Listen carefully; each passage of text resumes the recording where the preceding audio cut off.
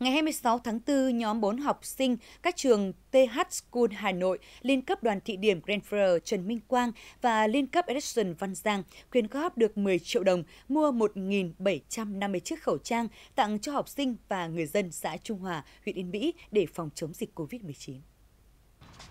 Trong đó hơn 1.000 chiếc khẩu trang tặng cho giáo viên và học sinh trường mầm non và tiểu học xã Trung Hòa, còn lại tặng cho các cựu chiến binh, người cao tuổi, người dân, tiểu thương kinh doanh tại thôn Nghĩa Xuyên.